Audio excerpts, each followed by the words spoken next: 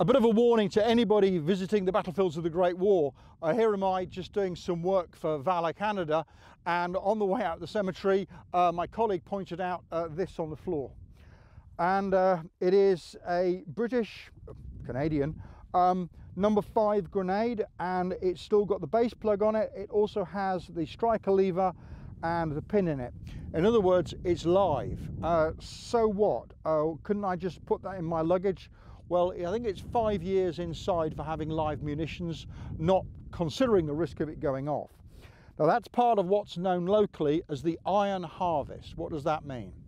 That means that every year on the Western Front in France or the Western Front in Belgium, the farmers plough up and mark and leave to be collected 300 tons of ammunition.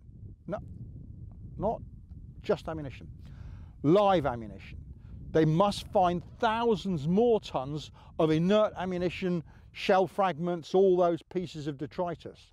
But these then have to be taken away by the local services, uh, the deminers as they're called here, or DOVO up in Belgium, to be disposed of because they are still live, potentially deadly. And I'm afraid to say every year there are a few people who attempt to do their own deactivation and it goes horribly wrong.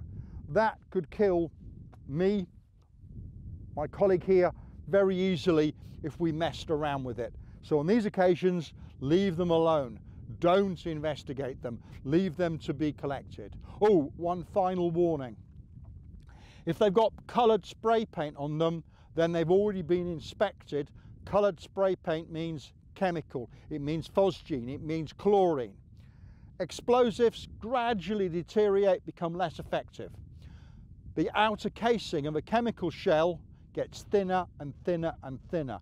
Nothing at all, not rain or frost, changes the chemical properties of a chlorine shell or a phosgene shell or a mustard gas shell. If that breaches, then you've got horrific conditions in which people will suffer and may still die.